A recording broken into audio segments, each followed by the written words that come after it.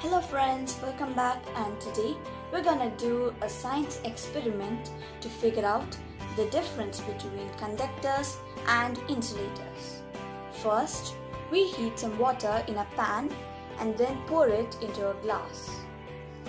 Now I have these objects here, so we have to put these objects in the water.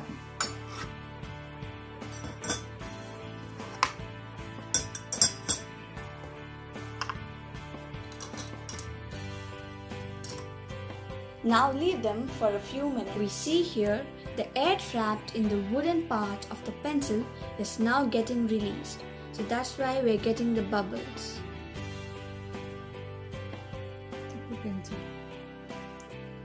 Now touch the ends of all these objects.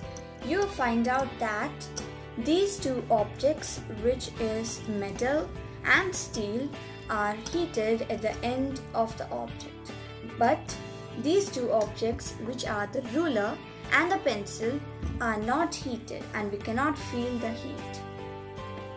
So friends, the materials which allow heat to pass through them easily are called conductors of heat. Example iron, copper, aluminium and the materials which do not allow heat to pass through them easily are called insulators or poor conductors of heat.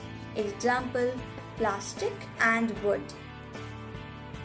Thank you friends for watching this video and hope you understand the difference between conductors and insulators and please try this at your home.